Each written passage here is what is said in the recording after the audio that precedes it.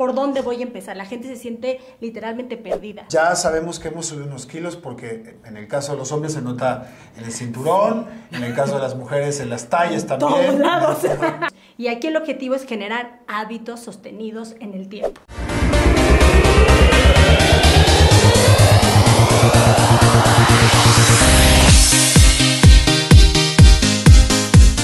Seguramente has pasado esta etapa de diciembre comiendo un poquito de más. Por eso hoy en Soy Fit hablaremos de la engordadera de diciembre y enero y cómo recuperar la figura con Mariana Camarena. Bienvenida, nuestra nutrióloga. Gracias, Diego. Una de las cosas que todo mundo le pasa en estas fechas de diciembre, enero, es como dejarse, dejarse ir. El año 2020 fue un año muy complicado. Sí donde de alguna forma no mucha gente se cuidó. Entonces tienes, tienes cargando la pandemia y luego en Guadalupe. También me interesa mucho eso. ¿Qué pasa con nuestra mente? Que durante todo el año tratas de cuidarte y luego en diciembre dices, ay, a las fiestas, se acaba el mundo. Y bueno, casi se acabó el mundo. Exacto, estuvimos así.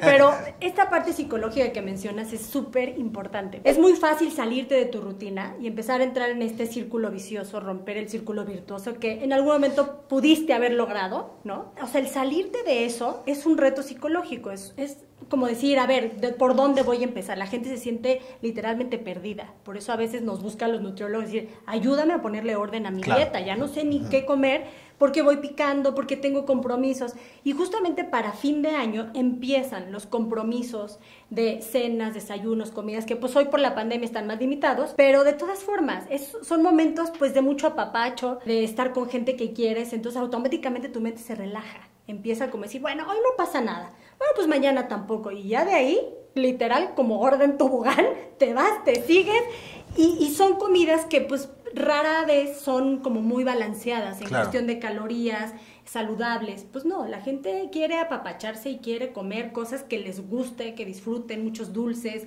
alcohol. Porque hay una cosa también de dos temas específicos. No importa, luego lo recupero. Entonces tus 6, 7, 8 kilos que subiste, luego estás 6 meses para bajarlos, ¿no? Pero también está el tema de la corrida del carbohidrato, que mucha gente de repente me pregunta, y seguramente a ti más que a mí, es, yo digo, bueno, empiezo el 12, el 15 de diciembre a comer carbohidratos y como, no sé, vamos a inventar panes, turrones y demás. Y, y tu mente se empieza empieza a saciar de tanto carbohidrato y azúcar que luego cuesta sacarlo. Es como un círculo destructivo. ¿Y sabes qué pasa? Hay cuestiones fisiológicas. A mayor consumo de carbohidratos, empiezas a descompensar tu insulina. La insulina es una hormona que regula la absorción o el utilizar esos carbohidratos como fuente de energía. Si además le sumas un sedentarismo, es decir, esa energía no la estás usando, hay una descompensación brutal y es donde se empiezan a generar ya físicamente pues antojos dulces y te enganchas. Porque la insulina, la insulina anda como loquita pidiéndole al cerebro energía. Y entonces puedes caer en un cuadro de resistencia a la insulina. Porque ganaste grasa, la grasa, el tejido adiposo, eh, crea o bueno, se forma ahí una hormona que es la leptina. La leptina es la hormona de la saciedad. Entonces también está alterada si empiezas a ganar grasa. Entonces ya físicamente la gente te dice, de verdad no puedo. O sea, yo puedo tener toda la fuerza de voluntad, pero mi cuerpo me lo pide. Entonces tienes que hacer unas estrategias ya más puntuales para romper ese círculo vicioso. Ahora, eh, si es muy difícil, ya vienes cargando muchos kilos, lograr un equilibrio entre leptina, grelina, que es la, hormona de, del hambre, y tu insulina. Pero, a ver, Toda la gente que nos está viendo, ¿a quién no le gusta el carbohidrato? Exacto. Y sobre todo si es grasoso, lleno de azúcar y demás. Pero necesitamos compensar esto. Sabemos que diciembre va a ser muy complicado ponerte dieta y más complicado moverte. Exacto, eso. Moverte. Sí. Ese es el reto. Fíjate, empiezas a caer. Me desvelé porque tuve una cena. Pues ya te despiertas tarde, ya no tienes la energía porque además comiste medio mal, tu digestión se altera. Entonces de repente dices, ay, como que traigo un malestar estomacal que no tengo la fuerza para ponerme a hacer ejercicio. Y entonces ya dejaste pasar un día, dos días y luego ya automáticamente este desequilibrio hormonal, pues ya no te ha, no, no hay de dónde sacar la energía para que realmente te pongas a hacer ejercicio. Porque además la gente no sabe que toda la adiposidad que nosotros tenemos aquí en la pancita o en la, parte que tenga el glúteo femoral tiene que ver con un conjunto de hormonas que dan vuelta. Dicen, ay, tengo grasa. Pues el conjunto de grasa es un conjunto de hormonas. Entonces, cuanto más va subiendo, más el adipocito sube, se, se empiezan a desregular ciertas hormonas. Ahora, eso provoca una inflamación. Quiero hablar de eso porque hay una inflamación. O sea, que no tiene que ver con verte gordo o no verte gordo. es mucho más profundo que eso. Exacto. O sea, realmente la célula, perdón, la célula que está inflamada, pues empieza a descompensar todo, todas las señales que también le llegan al cerebro. El, cerebro empieza a producir una cascada también de estas sustancias proinflamatorias. Entonces, esta inflamación se puede traducir como una retención de líquidos. O sea, cuando tú haces una prueba en el consultorio donde se mide agua corporal, puedes detectar perfectamente si una persona está inflamada, porque existe un líquido entre células, ese líquido que, se, que es difícil sacar porque está descompensado el metabolismo. Ese es parte de esta inflamación. Entonces necesitas mandarle una señal correcta. Y de verdad, la primera regla es sí moverte, porque el ejercicio empieza automáticamente a reducir esa inflamación. Entonces, lo que buscamos todos es movernos, activar esas células, que se empiece a desinflamar el cuerpo. ¿Y sabes qué pasa? El cuerpo solito también te empieza a pedir cosas sanas. ¿Sí o no? Cuando empiezas a hacer ejercicio, pues de repente ya no es que desayunes hot cakes, desayunas mejor un omelette de claras o con verduritas y empiezas a entrar otra vez en este balance, en este equilibrio. Ahora, Estamos en, principio de año. Eh, ya sabemos que hemos subido unos kilos porque eh, en el caso de los hombres se nota en el cinturón, en el caso de las mujeres en las tallas también.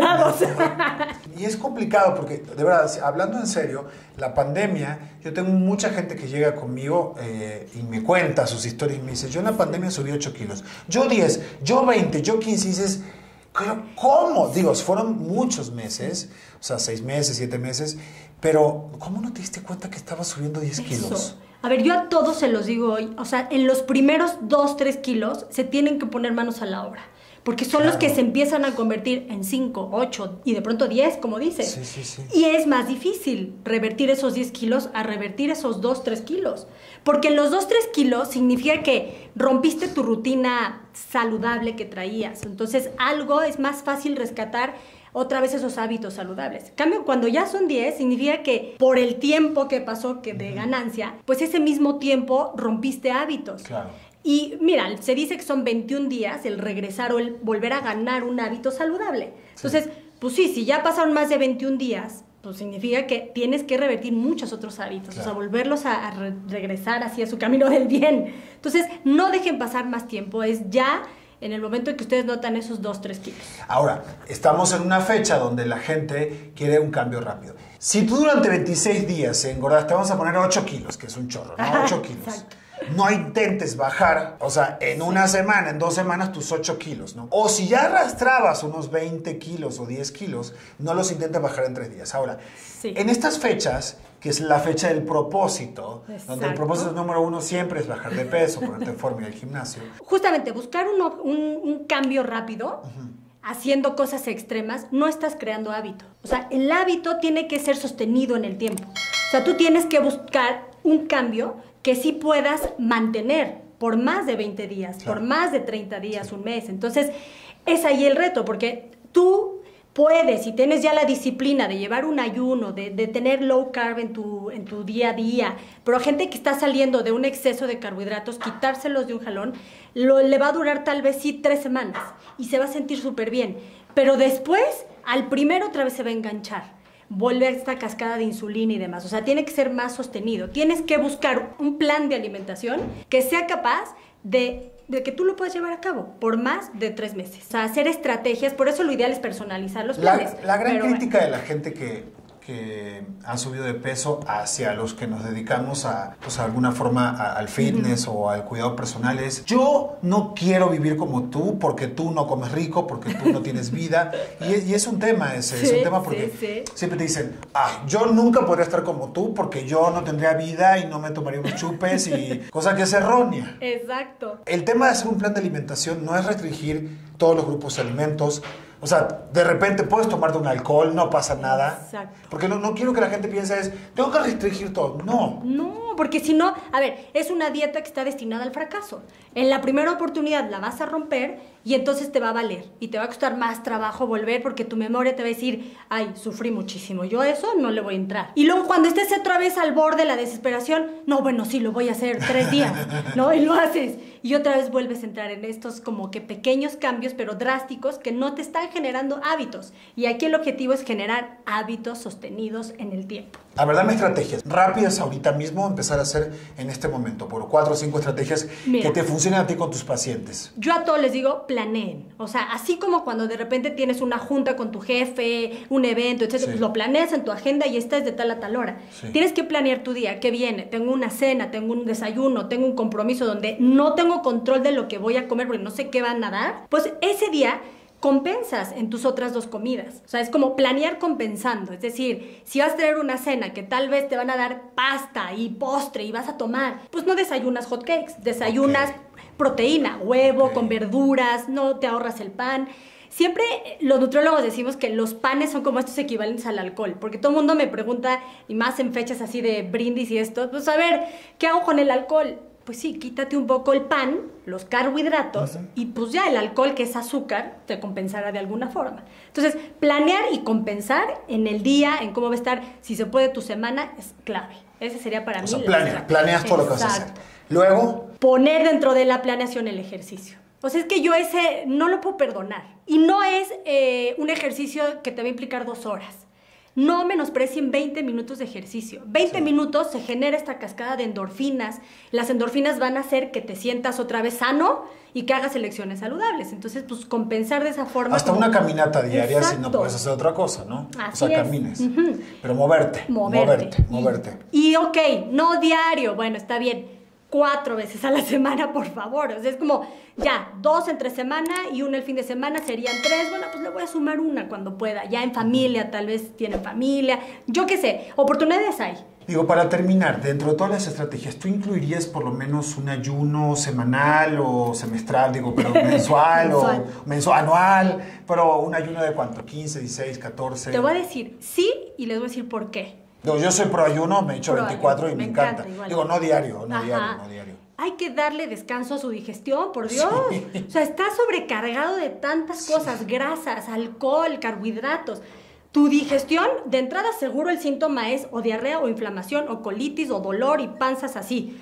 Y o la panza es porque está inflamado el intestino. Entonces el ayuno es la mejor estrategia para desinflamar el intestino. Entonces una vez desinflamado, la digestión lo agradece, sensibilizas a las hormonas, que esto ya lo hablamos ahorita al principio, es clave. El ayuno te ayuda a balancear y equilibrar tus hormonas hormonas del apetito, de la saciedad, de regular glucosa, etc. Entonces, para mí es claro. ¿16 horas o cuánto? Yo, para un día así drástico dices, ya llevo un exceso brutal, 16, horas. Muchos dirán, ¿a poco recomiendas el ayuno a una persona que tiene una descompensación, tiene diabetes, este, presión descompensada? Bueno, habrá que ver el caso. No estoy diciendo que todos háganlo, bueno, ya con su doctor, de la mano del doctor que les diga, no, tú no eres candidato al ayuno, pues ya está. Pero si no eres candidato al ayuno es porque no eres candidato a excederte. O sea, eso es un hecho, algo traes en tu me encanta Ese punto, porque mucha gente dice, no, pero es que yo soy hipertenso, sí, tengo sí, sí. metabólico, tengo no sé qué, o diabetes tipo 2, no sé qué. Pero si llegaste ahí, evidentemente no podrás comer tus donas y toda esta cantidad de cosas, porque tu médico no puede decir que te desea Sí, si usted ese tres donas, no importa, no pasa nada. No, sí pasa. Entonces, pues sí, no, por eso digo, no hagan locuras, porque pues no les debiste haber hecho, porque un estilo de vida saludable no te lo permite.